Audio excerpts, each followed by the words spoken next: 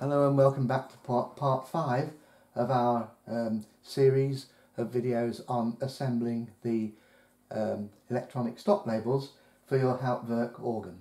And in this final part I'm just going to discuss briefly the way of interfacing your switches and LEDs, your stop switches um, and LEDs with the um, how, uh, with, with uh, the uh, PC that is running Hauptwerk.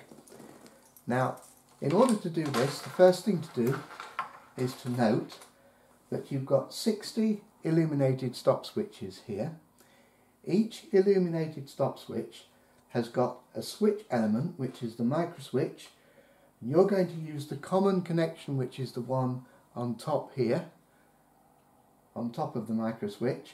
And you're also going to use um, the uh, upper connection if you have two live connections there. Uh, one is normally closed and the other is normally open. You want to use the normally open one, which is usually the top one.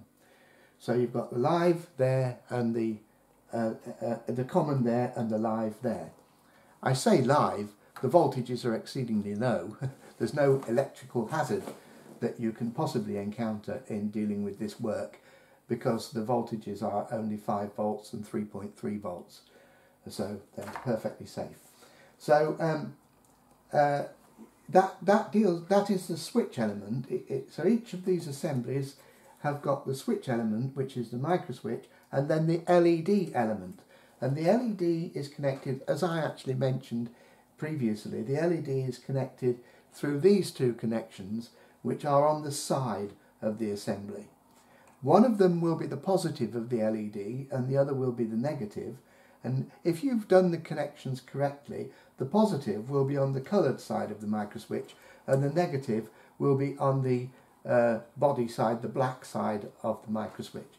Now, the thing about that is that the uh, when you assemble these for connection to your MIDI decoder, you need to know a little fact about the decoder. Is it common positive or common negative?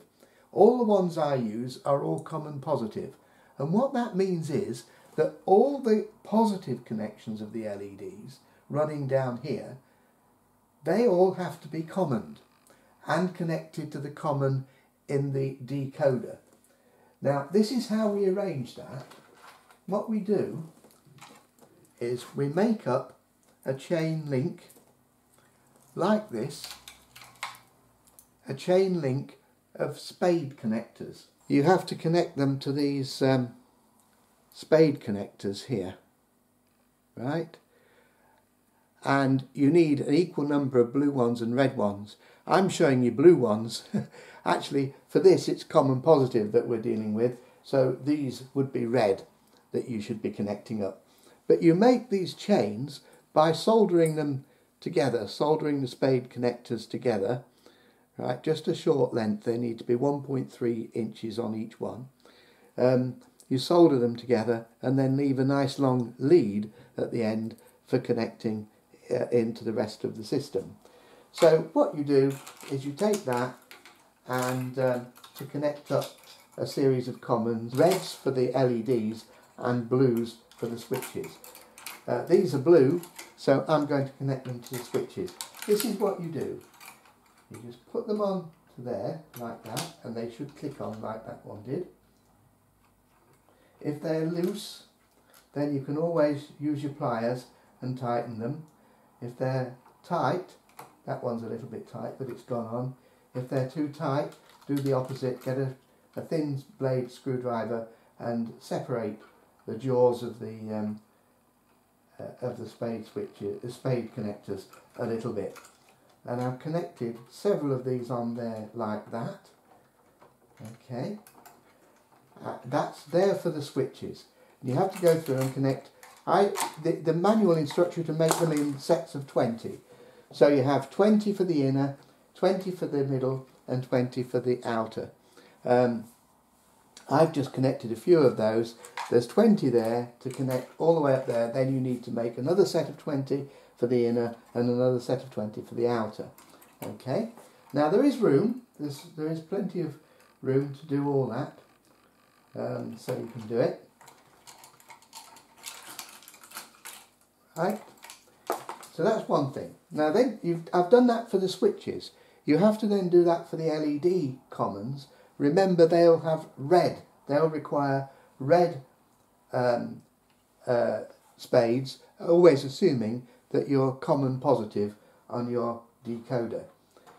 The switches connect to the encoder because the switches tell Hauptwerk that you've pressed the switch.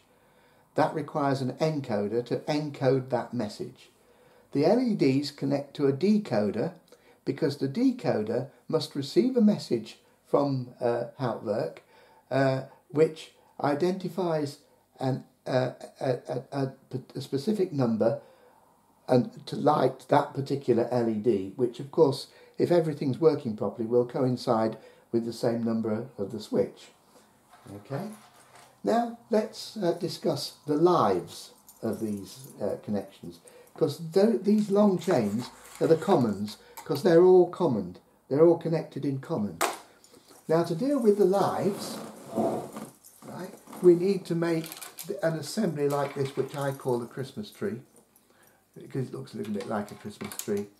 Um, this is two ribbon cables, right? And they're attached, they're stuck one on top of the other.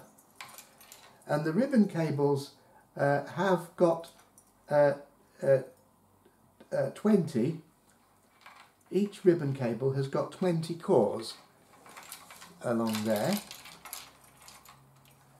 And what we've done is at 1.3 inch intervals, we've actually stripped the cores back.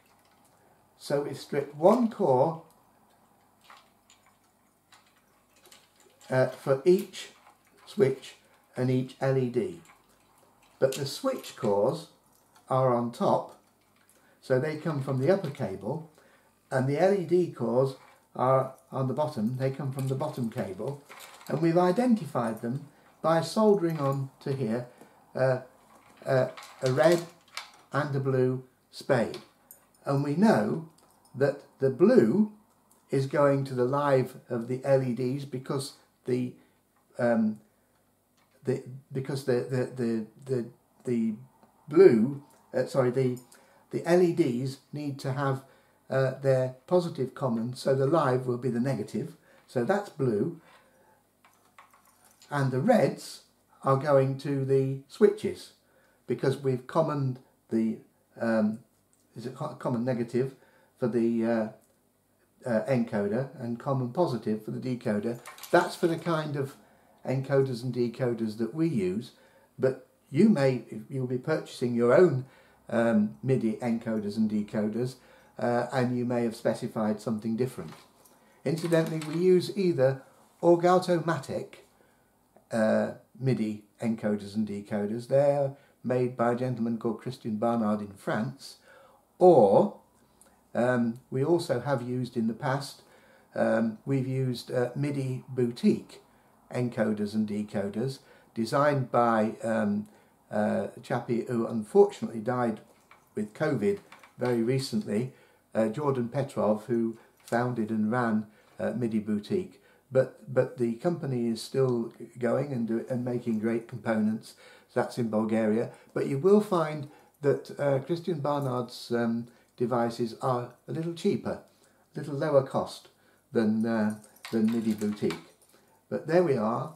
This is a Christmas tree connection. And what you do with this is you take it and first of all you have to attach two insulation displacement sockets to the top end of the of, of each cable. That's a socket to connect to the encoder and that's a socket to connect to the decoder. And that will be at the top of the PCB like this. We're going to put it in position there. Right.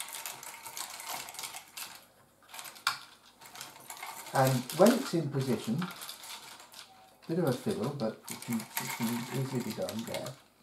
When it's in position, they will be at the top. Let me bring that down so you can see where my finger is. These will be at the top of the PCB and the other end is at the bottom. And what you need to do is to take, there's, there's a pair of of wires from each side at each level and remember that the positive goes onto the switch which is in this case there and the negative goes onto the LED which in that case is there. So you connect each member of those that pair in exactly that same way. So we can connect uh, the we can connect the um, the the red to the switch, which I've now done, and the blue to the LED, and it has to go onto that side. There. And you just go through and connect those like that. You have to make up that cable, of course, although I can do them for you, but I would prefer you to do your own. Now, little hint here. I've actually attached, I, have actually uh, arranged this Christmas tree ribbon cable after I've installed the PCB into the stop plate. I have my reasons for doing that in this demonstration because I didn't want to load you up with both sets of information at once. So what you should really do, the best thing to do, is I'll, I'll show you, just one moment, the best way of doing it, in my opinion,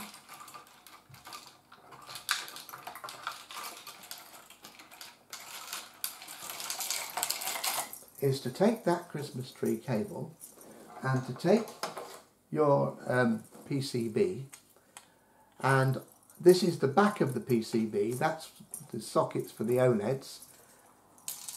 Put that on there like that, bring these out and make sure they're all nice and neatly available and arranged for when you come to connect them. And then tape, tape that cable to the back of the PCB there and you'll, you'll find that it makes the whole thing rather easier to assemble. So I advise you to do that. Right, I have come to the end now of the construction part of the uh, video describing the electronic stop labels for your Hauptwerk virtual pipe organ. Um, there is an email address uh, uh, on the description of the video. Um, there's also an email address in the uh, uh, construction manual and there's an email address on the website. Um, so you can contact me if there's some part which is not clear. Watch it again, watch it several times, read the construction manual carefully several times before you even think about starting. Um, uh, there are enough photographs in the construction manual and there should be enough with these videos to enable you to get going and uh, get the construction underway. So thank you very much for watching and I do hope that your um, electronic stop label project is as successful as mine's been and that you enjoy having this facility on your Hauptwerk organ of having those stop names appearing the moment you've loaded a new organ. Thank you very much indeed for watching.